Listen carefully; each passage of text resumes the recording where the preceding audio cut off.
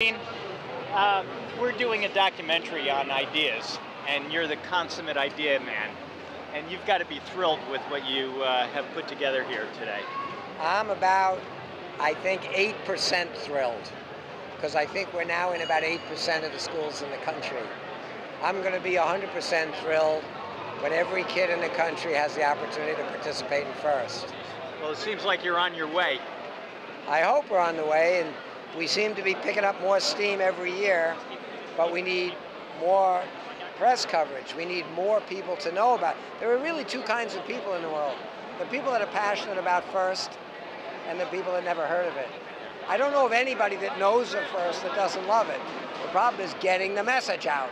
So hopefully you're going to do a good job of helping us do that. Well, thank you very much.